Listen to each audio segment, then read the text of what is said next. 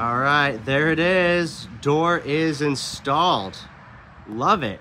Now I wanted to mention uh, this wood that I use, this exterior siding.